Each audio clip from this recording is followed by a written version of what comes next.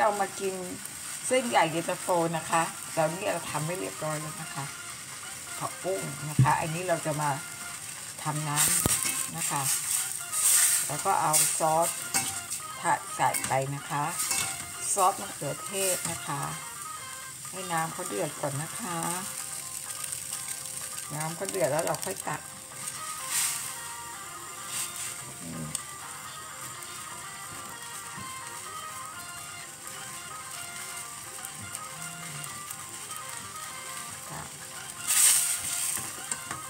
แล้วค่อยปรุงนะคะ มีหมูอยู่ที่บ้านหรืออะไรก็ใส่ไปเลยนะคะ มีซอส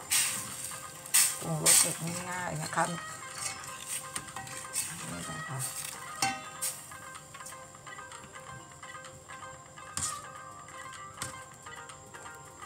นี่นะคะ ให้ร้อนๆเลยจ้ะ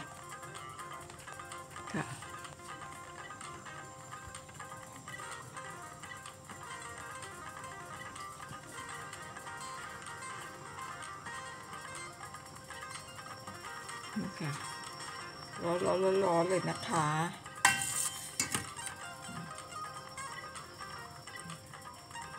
อันนี้เราก็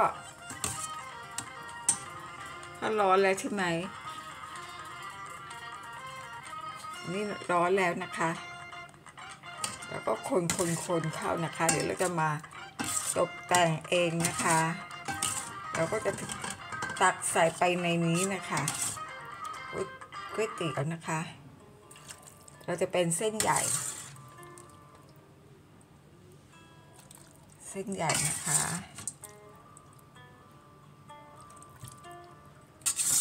มีลูกชิ้นและปลาหมึกนะคะ นี่ค่ะ แล้วก็แมงกะพรุนนะคะเลือด ใช้กระมังเลยจ้า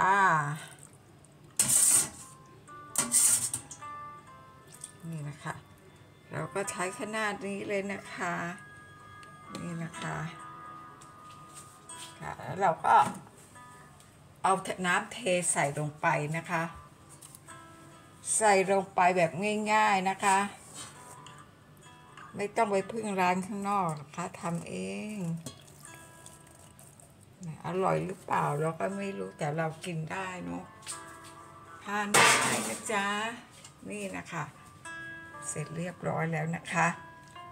นี่ก็คือเราก็จะมาปรุงแต่งนะคะอันนี้เป็นเตานะ เราจะตั้งตรงเตาก่อนนะคะ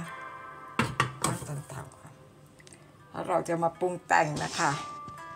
ปรุงแต่งด้วยพริกพริกป่น นี่นะคะพริกป่นนะคะพริกป่น แล้วก็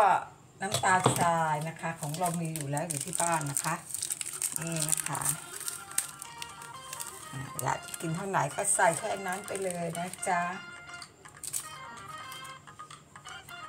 นี่นะคะแบบง่ายๆน้ำส้มนิดหน่อยนะคะ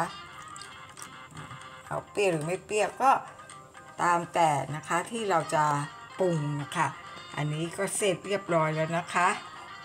นี่นะคะ นี่คือเย็นตาโฟ เย็นตาโฟลูกชิ้นปลาหมึกแมงกะพุนเสร็จเรียบร้อยแล้วนะคะ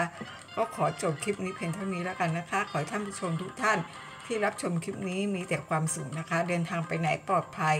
แคล้วคลาดจากพยานอันตรายทั้งปวงบุญรักษาพระคุ้มครองสาธุค่ะ อย่าลืมกดไลค์กดแชร์ กดติดตามกดกระดิ่งเป็นกำลังใจด้วยนะคะ จะได้ไม่พลาดคลิปต่อไปค่ะ สวัสดีค่ะสาธุค่ะบ๊ายบายไปแล้วค่ะ